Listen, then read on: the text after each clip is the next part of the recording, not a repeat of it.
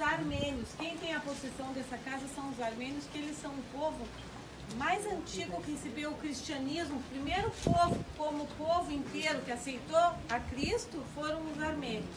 Os armênios também tem aqui em Israel, tem a igreja armênia, e essa casa aqui está numa família armênia que até hoje cuida desse local. Pode começar.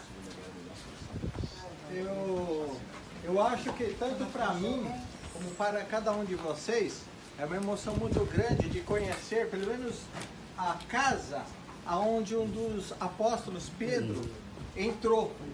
Eu acho que é uma emoção grande saber que Pedro colocou a mão então nessas portas, Pedro entrava e saía daqui.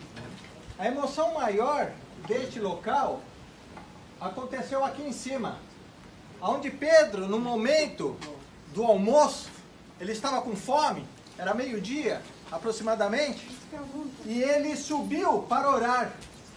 E ali em cima ele começou a orar e ele teve uma visão. Alguns teólogos dizem que era tanta fome que ele viu animais, né? Mas na verdade era o Espírito Santo trabalhando um tema que até hoje temos de aprender este tema.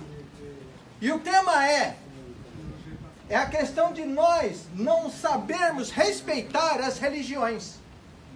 Nós não sabemos respeitar as religiões. E Pedro, por ser um judeu, Pedro, por acreditar nos seus princípios desde criança, que ele não poderia se misturar com gentios, que ele não poderia falar com outros povos, que ele não poderia comer junto. Pedro, ele foi criado dentro de uma religiosidade. Pedro, ele era extremamente religioso. E o maior milagre que aconteceu na vida do Pedro foi nessa casa, nesse andar superior, com fome.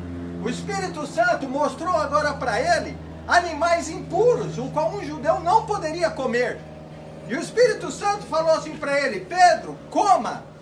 E ele falou: Não vou comer. E o Senhor falou novamente: Coma, Pedro. E Pedro falou: Não vou comer.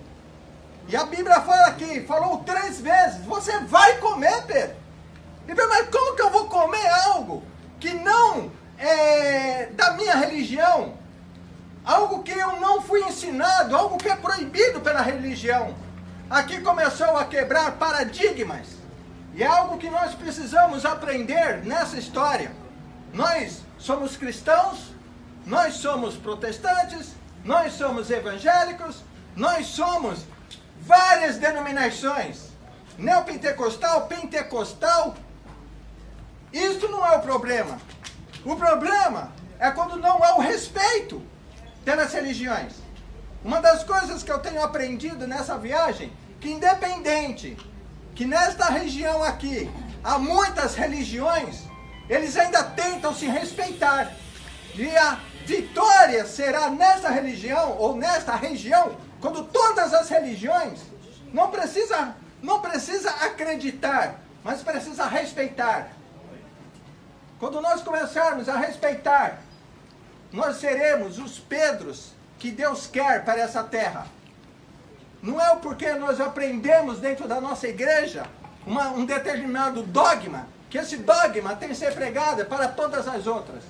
Eu acho que o único dogma maior é amar a Deus acima de tudo e o nosso próximo como a nós mesmos. E foi esse tema que Pedro aprendeu nessa casa aqui. Amar o próximo, independente da religião, independente dos nossos dogmas, independente das nossas crenças. O amar ao próximo é o maior mandamento abaixo de amar a Deus. Muitas das vezes nós amamos mais as coisas, amamos mais tudo, mas não amamos o próximo. E muito menos não amamos a Deus. Porque é fácil falar que amamos a Deus, mas não amamos o próximo. Esse é o grande tema que foi ensinado nessa casa: amor ao próximo. Cornélio, um romano, Cornélio, um homem que tinha poder, mas ele buscava a Deus. E ele mandou buscar Pedro, que estava aqui nessa casa, juntamente com seu amigo, que também se chamava Simão. Só que era Simão o curtidor. E Pedro era o apóstolo. E esses dois amigos estavam aqui dentro. E o Espírito Santo falou com Pedro, o apóstolo, o discípulo. E ele foi convidado a sair desta casa e ir pregar, levar as boas novas de salvação através do Messias que estava sendo aguardado. E ele foi à casa de Cornélio, encontrou uma família totalmente religiosa, mas eles amavam o próximo, eles ajudavam os judeus, e esse romano, ele entendeu o que é a salvação através de Jesus Cristo.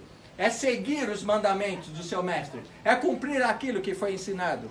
Que nós possamos olhar para essa casa, não se mente, não se mente somente como uma arquitetura bonita, mas olhar para essa casa e lembrar de dentro de nós que muitas das vezes no, os nossos dogmas, as nossas crenças têm nos afastado. Que nós possamos aprender através dessa história, em Atos capítulo 10, que ali foi quebrado dogmas e religião, amor ao próximo e levar a salvação a todas as nações. Que nós possamos meditar em cima dessa história. Você depois na sua casa abra capítulo 10 e leia ali. Que com certeza o Espírito Santo que falou com Pedro aqui irá falar em cada coração. E que nós possamos quebrar todas as barreiras culturais, ideológicas, filosóficas e sempre amar o próximo acima de tudo.